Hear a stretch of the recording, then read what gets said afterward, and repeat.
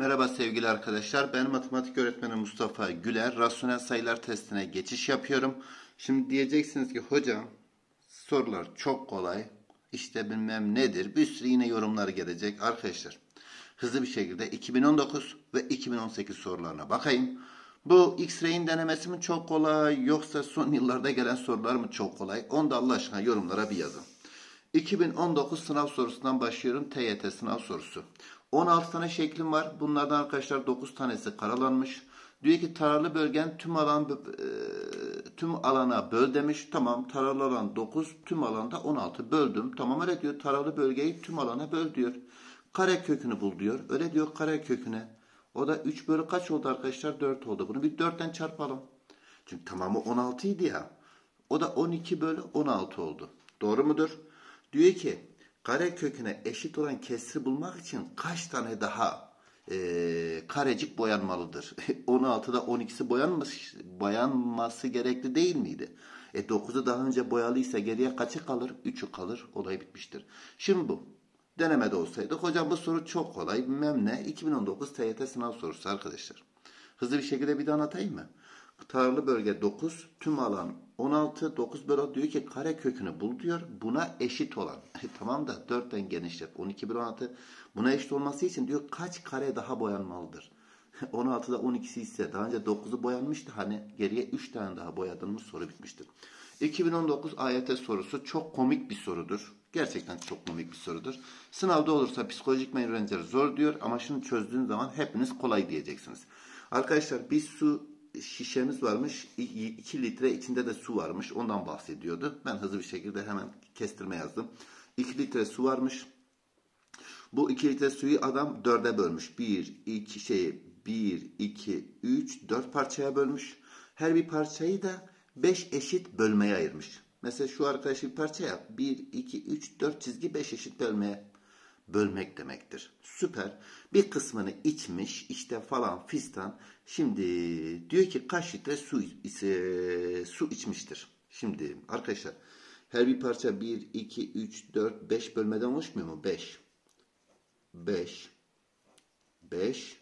5. 5 kere 4. 20 parça kaç litreydi? 2 litreydi. Doğru mudur? Diyor ki ne kadar su içmiştir. Üstten bir 5 parçamız var. 6, 7, 8 parça içmiş. Tamam. 8 parçası kaç litredir? İçler dışlar çarpımı yap soru bitmiştir. Olaya başladı mı arkadaşlar? arkadaşlar toplam 4 parçaya bölüyor. Her parçayı da 5 eşit bölmeye ayırıyor. Toplam demek 20 bölmeye ayırmış. 20 parçası 2 litre ise içilen belli işte. Üstten 1, 2, 3, 4, 5, 6, 7, 8 bölmesi içmiş. 8 bölmesi ne kadardır? İçler dışlar çarpımı yaptım mı? Cevap 4 bölü 5 çıkar. Bu mu çok zor soru? Geldik 2018 sınav sorusuna. Şimdi arkadaşlar bir pastamız varmış 4'e bölünmüş. Aslı pastayı önce 4'e bölmüş. Süper. Tamam. 1 bölü 4'ünü almış yani. Sonra bir dilimini alıyor 3 arkadaşına paylaşıyor. Onu da 3'e bölelim. ne oldu arkadaşlar? Bir kişiye düşen pay 1 bölü 12 çıktı. Zaten sonra da benden bunu istiyor. Diyor ki bir kişinin payına düşen pay bir kişinin bir kişinin payına düşen pay tüm pastanın kaçta kaçıdır? 12'de biridir. 2018 sınav sorusu. Allah aşkına ya. Hemen geçiyorum. Yani bana hocam X-Ray'in soruları çok kolaydır bilmem nedir. Arkadaşlar sınavda gelen sorular belli. Kusura bakmayın. Yani gerçekten kaliteli bir deneme. Yani ben burada bunu şey yapmak için değil. Ben çözerken çünkü ciddi bir zorlanıyorum. Yani bazı arkadaşlarımız demek ki gerçekten çok başarılı ve çok kolay geliyor sorular. Onlara saygı duyuyorum zaten. Şimdi bu soruya bakmadan önce benim bu soruyu çözmem gerekiyor. Şöyle çözmem gerekiyor arkadaşlar. Gerçekten en çok hoşuma giden sorulardan bir tanesi buydu. Sıkıntılı bir sorudur. Bana göre sıkıntılıdır, sana göre sıkıntılı değildir. Ama gerçekten hoşuma giden sorulardan bir tanesidir. Şimdi bir pastamız varmış arkadaşlar. Pastayı aldım buraya. Diyor ki 3 kez kesilerek eşit boyutta. Şimdi bir saniye. Bir defa kestim bu bir. Bir defa daha kestim iki. Dört eşit parçaya böldüm. E şimdi bir daha ben nasıl kessem? Böyle kesersem hepsi eşit parçaya bir de üç parçaya. Şey e, üç kez keserek eşit boyutta. E, eşit boyutu ben nasıl yapacağım? Arkadaşlar bakın izleyin. İki defa kestik mi? Kestik. Şimdi bu dilim ve bu dilim kalsın. Şunu ve şunu kesip yanına koymak istiyorum. Şöyle bir şey. Şurası kaldı. Yandaki de kalmıştı hatırlayın. Bu ikisi kaldı dedim. Şunu aldım. Şey yaptım. Çevirdim yanına koydum. Şu alttakini aldım. Çevirdim yanına koydum. Şimdi ben bunu bir daha kesmek istiyorum. Arkadaşlar bir daha kestiğinizde bakın hepsi eşit boyutta. Kaç parça çıktı? 8 parça çıktı. Olay anlaşıldı mı? Sonra diyor ki sonra daha sonra küçük parçalardan birini zaten hepsi eşit olduğu için bir tanesini alıyorum. Aşağı indiriyorum. Arkadaşlar bunu isterseniz yine biraz eğik yapabilirsiniz. Sıkıntı değil. Ya da bunu biraz toparlayın, moparlayın. Bir yine şeye çevirin. Dikdörtgene çevirin. Sıkıntı değildir. Çünkü sonuçta miktar önemli. Miktarı aldım. Hafiften üstünü biraz yukarı kaydırdım. Yanları şey yaptım. Dikdörtgen şeklinde çevirdim bu işte. Sonra iki kez daha kesilerek, iki kez kesmek kolay. Bir, iki. Bitti. İki kez daha kesilerek eşit boyutta kaç tane çıktı arkadaşlar? Dört parça çıktı. Süper. En küçük parça. Şimdi bu parça 8 parçadan biri değil miydi? Süper. 1 bölü 8'di. Sonra bu da 1, 2, 3, 1 bölü 4'ü değil miydi? Cevap ne oldu? 1 bölü 32. Cevap Bursa'dır. Şıklardan Bursa'yı bulup işaretledim. Olay anlaşılmıştır umarım arkadaşlar. Süper bir soruydu.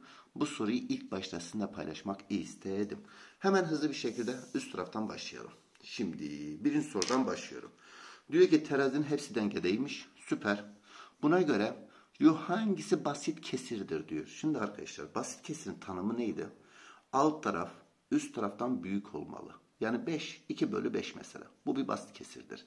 Biz buna arkadaşlar armut diyorduk. Armut, armut. Hani diyorlar ya armudun iyisini ayılar yer. Niçin ayı yer? Çünkü ayı basit en şeyi yer. İnsanoğlu maşallah her şeyi yer ama her şey derken en güzel, en kaliteli şeyin en her şeyini yer. Ayılar en basit önüne ne gelirse yer. Biz buna armut diyoruz. Armudun alt tarafı üst tarafından nedir? Büyüktür. İşte biz buna basit diyoruz. Yani basit kesir. En böyle şey havalı meyvemiz hangisidir? Çilektir. Oo. Çileği biliyorsunuz değil mi? En havalı meyve. Hatta bunun markası bile var lan. Çileğin de üst tarafı daha büyük olduğu için bu da arkadaşlar bileşik kesirdir. Haberiniz olsun. En basit meyve armut. Basit. En havalı meyve çilek bileşik kesirdir. Bileşik kesirlerde eşitlik de olabilir. Pay payda eşit olabilir. Onu ilerleyen zamanda size göstereceğim.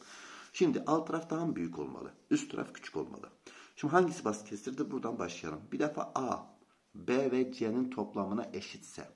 O zaman A hem B'den hem de C'den büyüktür. A B'den büyükse bu bileşik kesirdir. A C'den büyükse bu da bileşik kesirdir. Geldik buraya. B D ve C'nin toplamına eşitse bu B hem D'den hem de C'den büyük müdür? B hem D'den hem de C'den büyüktür. Zaten hem de bir tek şık kaldı. Cevap Edirne haberiniz olsun. Hızlı bir şekilde geldik ikinci sorumuza.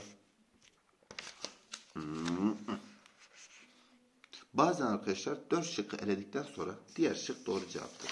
Hiç kusura bakmayın iki saat çözelim. Yani biraz da bu şekilde şıkları kullanmasını bilin ha. Adam diyor ki hocam e, bir kesin doğru. E bir kesin doğruysa şıklara bakıyorsun tek birin geçtiği Adana. O zaman Adana işarette geçiyor. Ne uğraşıyorsun ya? Şimdi Ali 3 bölü 5'i yerine ha bir Ali A eşittir. Şu 3 bölü 5 yerine 5 bölü 3 yazıyormuş. Tamam 5 bölü 3, 5 bölü 6, 3 bölü 8. Ee, Burak 5 bölü 6 yerine 3 bölü 5, 6 bölü 5 yazıyormuş. Artı 3 bölü 8 diğerlerine elde vurmuyor. Cüneyt de 3 e, bölü 8 en sondaki 3 bölü 8 yerine 8 bölü 3 yazacağız. Tamam 3 bölü 5, 5 bölü 6 eksi 8 bölü 3. Şey artı 8 bölü 3. Bunları yazdık. A artı B eksi C. Alt tarafı eksiyle çarpacaksın. Tamam. Topladın mı soru biter. Gerisini yaparsınız değil mi arkadaşlar? Ben götürenleri bir hesaplayayım. Burası eksi, şurası eksi, şurası eksi oldu. Şu şunu götürdü. Şu şunu götürdü. Başka da götüren yok zaten. Güzel. Tamam. Bu 5 bölü 3'ten 8 bölü 3 çıktı. Eksi 3 bölü 3'ten eksi 1 oldu. Bunlara da işim kalmadı. Devam edelim. Bir tane 6 bölü 5'imiz var. Al sana 6 bölü 5. Bir de şu ikisi var. 6 bölü 8. Arkadaşlar toplama çıkarmaya beni uğraştırma. İkinci sorumuzun cevabı ne diyor? 19 bölü 20. 19 bölü 20 yani cevap Adana'dır. Haberiniz olsun. Gerisi sana aittir. Hemen hızlı bir şekilde üstteki sorumuza bakalım. Şimdi arkadaşlar burada biraz sana da konu anlatayım. Şöyle konu anlatayım. Diyor ki bileşik kesir. Arkadaşlar bileşik kesirler dedim ya çilek modeli. Üst taraf alt taraftan büyük olmalı. Şimdi 1 bölü 2, 2 bölü 3, 3 bölü 4, 5 bölü 7. Basit kesirlerde aradaki farklar eşitse arkadaşlar sayı büyüdükçe büyür, küçüldükçe küçülür. Bu en büyüktür. Sonra bu gelir, sonra bu gelir. Doğru mudur?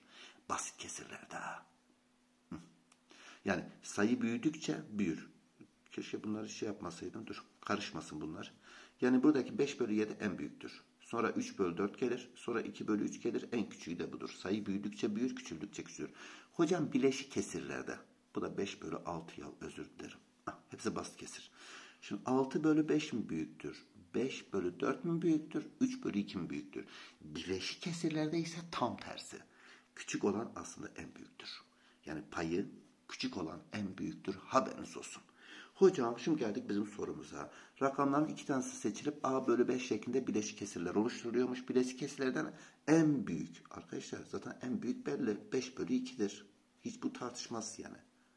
Bunu en büyük, bunu en küçük aldık mı 5 bölü 2, 2,5 en büyüktür. Şimdi en küçük diyorsa, en küçük diyorsa o da 5 bölü 4'tür. Çünkü 3 bölü 2 en büyüktür. 5 bölü 4 en küçüktür. Hmm, minimum değeri de 5 bölü 4'tür. Soru benden ne istiyor? Benden bunların çarpımını istiyor. 25 bölü 8. Var mı 25 bölü 8? Adana. Adana'yı şıklardan bulup işaretledim. Zaten 4'ü çözmüştüm. Onu geçiyorum arkadaşlar. Hemen arka sayfama geçiyorum. Şimdi evet. Kolay bir soru arkadaşlar. Şimdi sorumuzu çözelim. Soru ne diyor arkadaşım? Bir defa düzgün yazalım. Bu 1 bir, 1'dir zaten. Eksi bu 1 bölü 3 zaten. Bunda da bir sıkıntımız yok.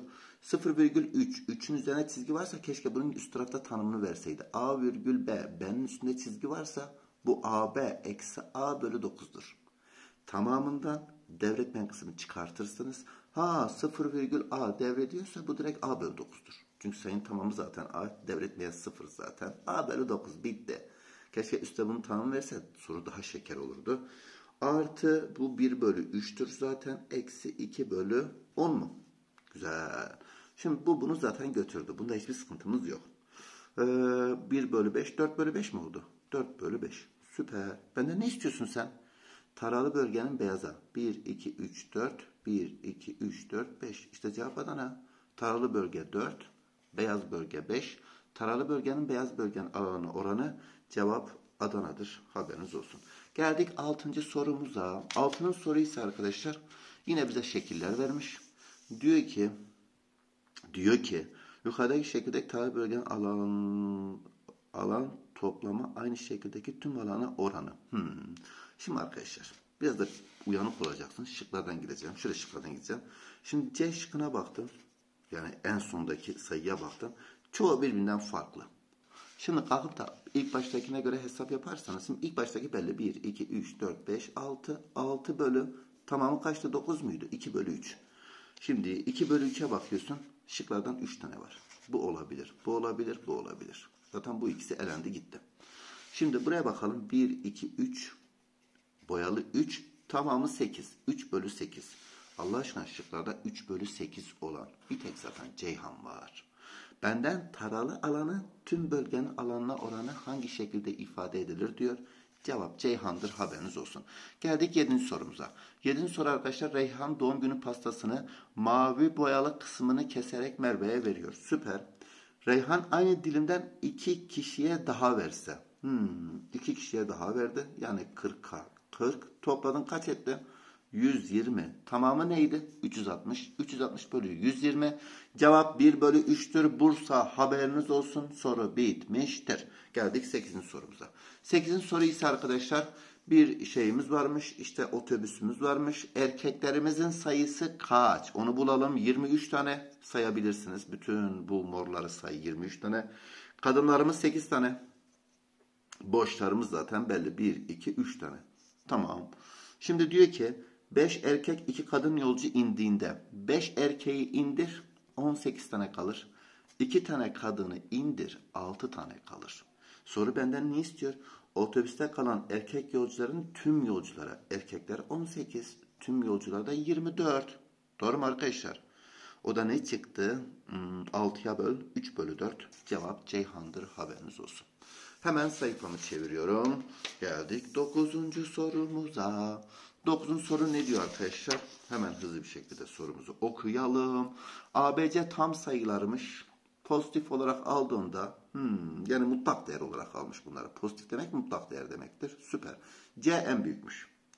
Ama yanlış yaptığını anlıyormuş. Bunlar negatifmiş. He, o zaman tam tersi. Negatifse. O zaman nasıl tam tersi arkadaşlar? A eksi 1'dir. B eksi 2'dir. Bir defa C eksi 3'tür. Çünkü mutlak derece C en büyük ya. Tamam. Hangisi en büyüktür diyor. Bir Bursa'ya bakalım arkadaşlar. C bölü A 3'tür. Zaten bundan kimse büyük olamaz ki. Cevap Bursa'dır haberiniz olsun. Geldik bir sonraki sorumuza. Şimdi sınav formatına çok uygun bir sorudur arkadaşlar. Dördüncü soru gibi zor bir soru değildir. Dördüncü soru arkadaşlar gerçekten zor bir soruydu. Yani mantık, zeka hepsi için içine giriyordu. Şimdi bu tam e, bir sınav formatında sorudur. Diyor ki A, B, C, dur, dur, dur, dur, dur. A, B, C ve D. Küçükten büyüğe doğru sıralanıyormuş. Öyle diyor. A ile Ben orta noktası ve bunlar eşit uzaklıktaymış. Süper. A ile Ben orta noktası. Tamam. Orta noktası E ile gösteriliyormuş. Şurası E. C ile D'nin orta noktası da F ile gösteriliyormuş. Süper. Tamam. Şimdi arkadaşlar A, B, C ne yazıyorsan yaz yaz. Hocam şurasına x diyelim. Şurası x olsun. Şurası 2x olur. Şurası x. Şurası da x. Doğru mudur? Hani eşit uzaklıktaydı ya. Ah. Ah. Her bir aralığa 2x dedim. Soruyu o şekilde çözeceğim. Diyor ki D ile E arası 5 bölü 3'müş. D burası, E burası. Şu arası arkadaşlar kaç birim normalde? 5x. Senin 5x'in 5 bölü 3 ise x'in ne olur? 1 bölü 3 olur. Adam benden ne istiyor? F ile B arası. F ile B arası. Yani 3x istiyor. Süper. 3x de cevap 1 olur. Olay anlaşılmıştır umarım. Hızlı bir şekilde 11. soruma bakıyorum. Bakalım 11. soru neymiş arkadaşlar? Şimdi hocam durun durun durun. Oran anlattan ben bunu biliyorum. Neyi biliyorum arkadaşlar? Şurada B'nin karşısında 2 var. Şurada B'nin karşısında 3 var. Olmaz. Bunları eşleyeceksiniz. Nasıl eşleyeceksiniz? Şurayı 3'ten, şurayı da 2 ile çarpalım. 3'ten çarptık. 6A eşittir 9B'ye. 2 ile çarptık 8b eşittir. 2 ile çarptık pardon pardon 6c'ye. Şimdi b'nin karşısında ne var? 6. b 6. a'nın karşısında 9 var. a 9. c'nin karşısında 8 var. c de 8. A bunları bulduk mu arkadaşlar? Buyurun yerine yazın. Hangileri doğrudur? 11. sorumuzun cevabı arkadaşlar Ceyhan 1 ve 2 doğrudur. Üçüncüsü yanlıştır. Haberiniz olsun. Zaten 2 belli. A bölü C, A bölü C, 9 bölü 8 doğru. Bunu da arkadaşlar buna göre verilenleri yazın. 1 ve 2 doğru. 3 yanlış çıkıyor. Hızlı bir şekilde üstteki soruma bakıyorum. Şöyle bir daire vermiş. Bu dairenin tanımına demiş ki bu buna eşitmiş. C bölü A artı B'ye. Şu bölü şunların toplamına. E tamam. O zaman bu neye eşittir? 2x artı 5 bölü x artı 1'e. Süper. Sonra diyor ki tam sayı yapan. tamam tam sayı yapalım.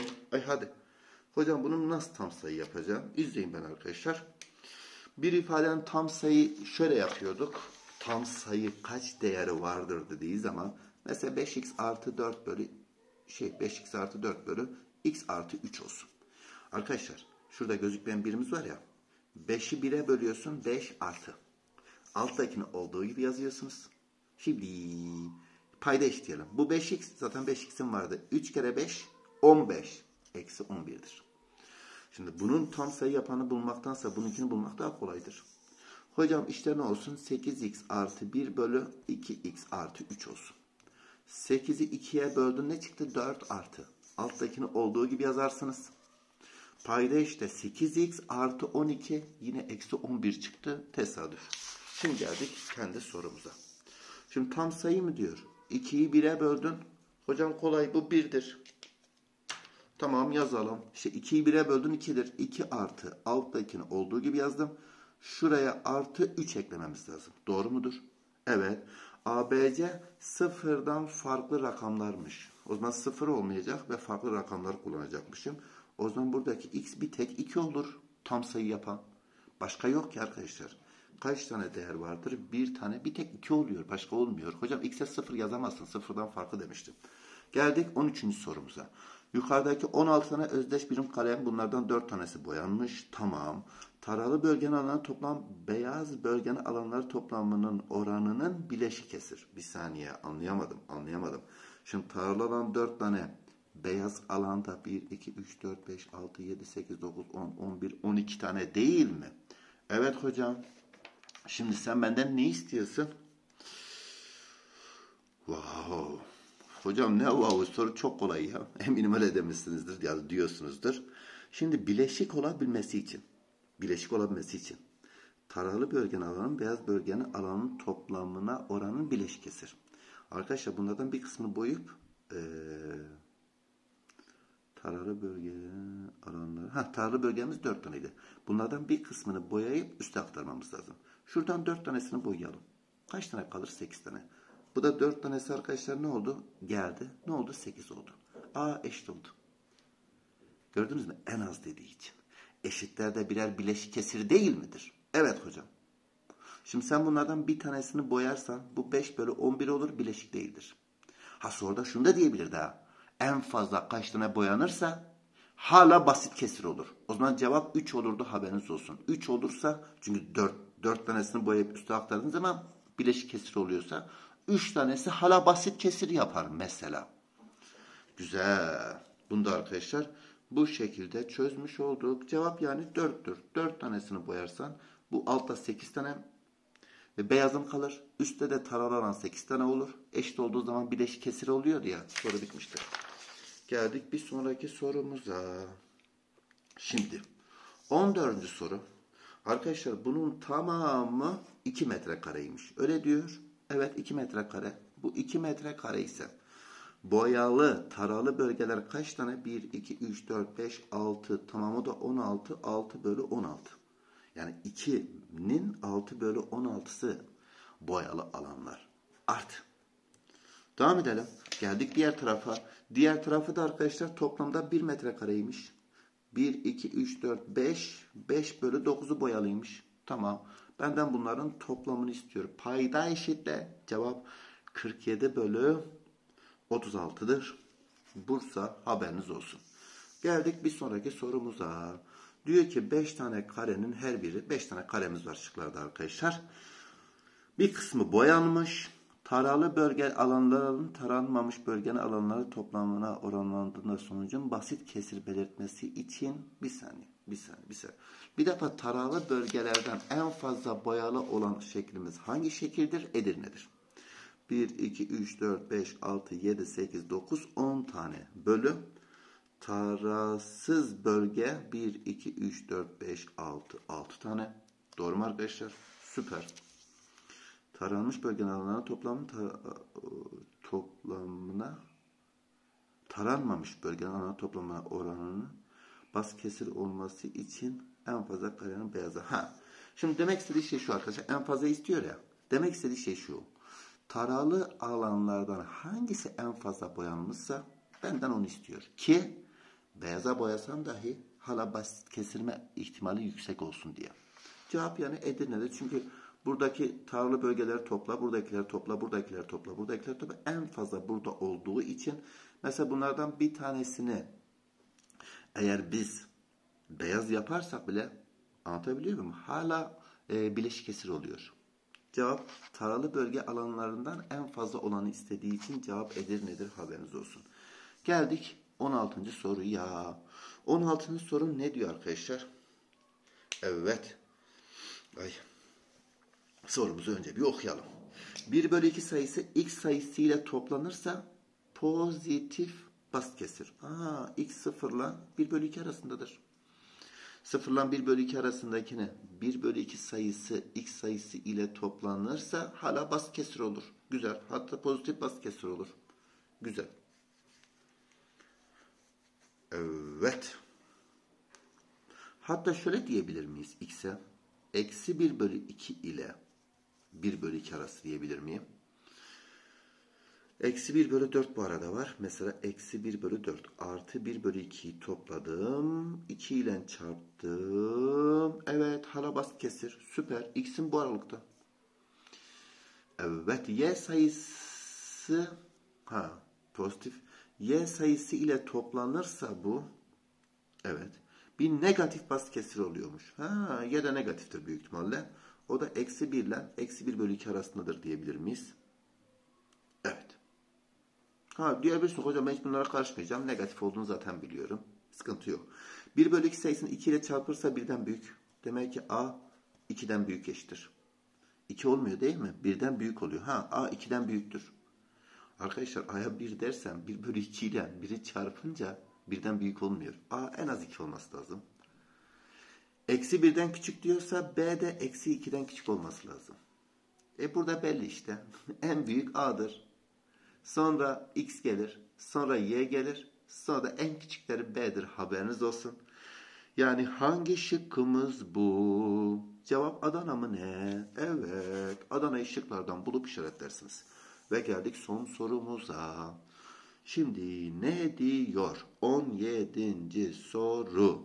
Şimdi bu noktalar kaç tane toplam şu şekillerden sayın burada. Kaç tane var? 9 tane var. X'imiz 9'muş. Şu çizgilerden sayın birkaç tane var? 7 tane var. İçi boşluklardan sayın kaç tane var? 15 tane var.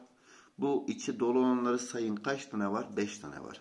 Hangisi yanlıştır diyor. Biz direkt deniz diye bakalım arkadaşlar. Şimdi denizin yanlış olduğunu iddia ediyormuş. K bölü Z. Hemen bulalım. K'mız 15'ti. Bölü. Z'miz nerede? Z'miz de 5'ti. Küçükmüş. X bölü Y. X'imiz 9'du. Y'miz de 7 idi. Arkadaşlar burası 3. 3 nasıl bir küsürden küçük oluyor? Tabii ki denizde yanlıştır. Geçmiş olsun arkadaşlar. Bu kadardı. Hem son iki yılın bütün sorularını çözmüş oldum. Hem de bu dönemimizi bitirmiş olduk. Görüşmek üzere. Hoşça kalın. Sizleri seviyorum.